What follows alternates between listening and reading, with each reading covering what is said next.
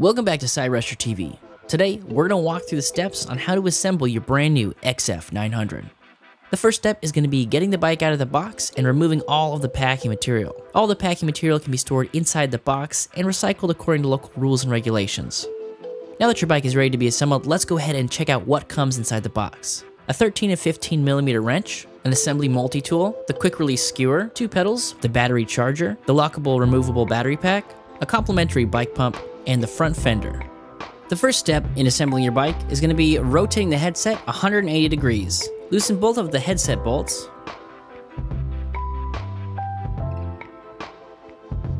And turn the headset towards the front, lining it up with the front forks and the frame. After it's been rotated, make sure to tighten those screws back up.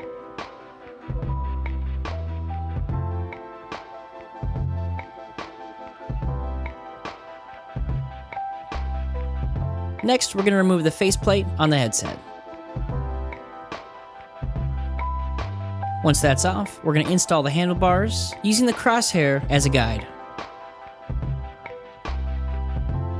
When tightening the bolts, make sure to utilize an X pattern. That'll maintain a consistent pressure on all points on the handlebars.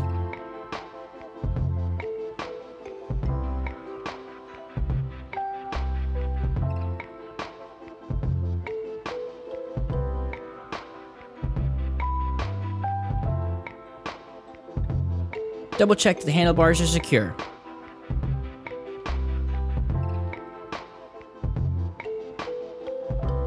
Next, let's remove the dropout protection.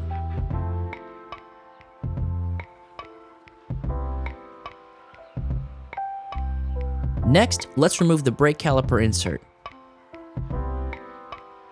Next, we're going to install the quick release on the front wheel. Remove the nut and one of the small springs.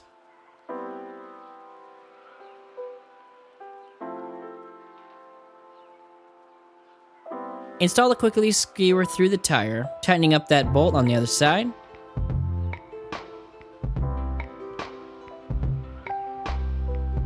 But don't tighten it down all the way, as we're going to need some room when we install the front tire.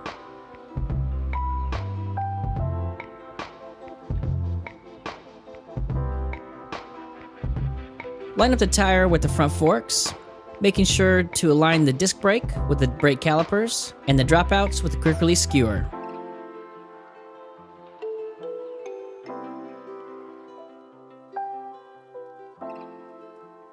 Once it's been seated correctly, tighten up the bolt on the opposite side.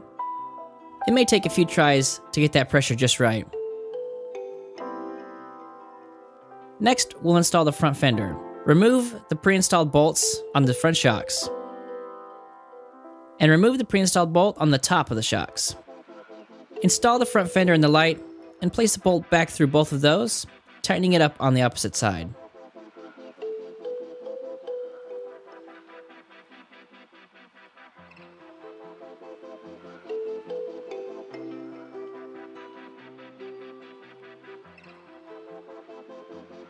Next, we're going to reinstall the two bolts that hold up the front fender support arms.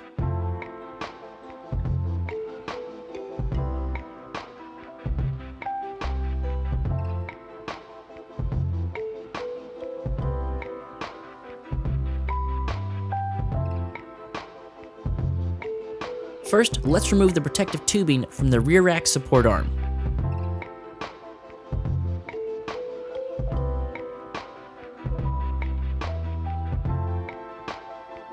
Now that that's out of the way, let's install the rear rack support arm.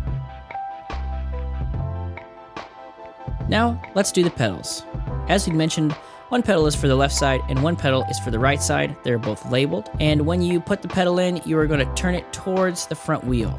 The right one on the right side and the left one on the left side. You can start by hand tightening it and finishing off with the included 15mm wrench. To install the battery, line up the grooves on the back of the battery with the battery mount sliding the battery down till it is fully seated, then using the key to lock it to the frame.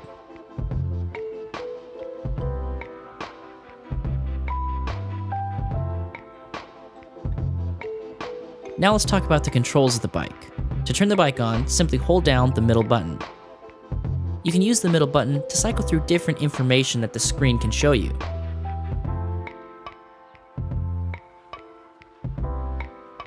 You can use the up button to raise levels of pedal assist, and the down button to lower levels of pedal assist. To turn on the lights, hit the light button located just above the horn.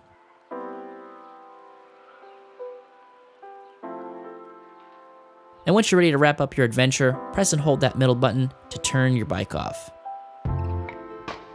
And now you should be ready to roll on your brand new XF 900. From all of us at Cyrusher, we hope you have an amazing day.